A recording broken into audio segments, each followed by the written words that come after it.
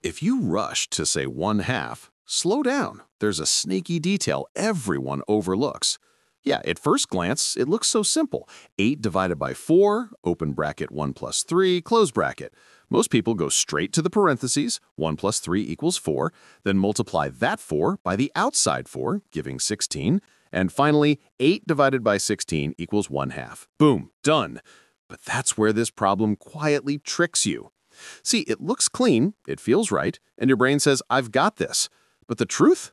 The real answer is nowhere near 1 half. Let's slow down and unpack this with PEMDAS. That's parentheses, exponents, multiplication, division, addition, and subtraction. Here's the catch, though. Multiplication and division actually share the same priority. That means you go left to right, not just jump to whatever comes first in PEMDAS. So let's rewrite what we have. 8 divided by 4 multiplied by open bracket 1 plus 3, close bracket. First, we solve what's inside the parentheses. 1 plus 3 equals 4.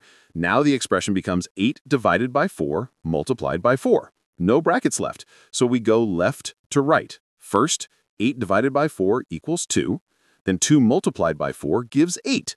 So the correct answer is 8, not 1 and a half. Crazy difference, right?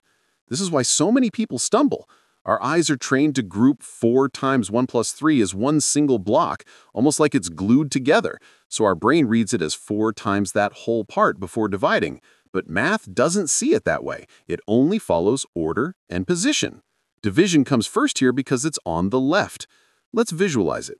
Imagine you have 8 candies and you're splitting them into 4 equal groups. That gives you 2 candies per group. Now, if each group multiplies by 4, boom, that's 8 again.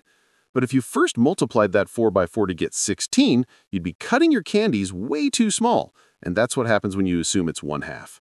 So the next time you see a mix of division and multiplication like this, just remember, go left to right. No shortcuts, no skipping.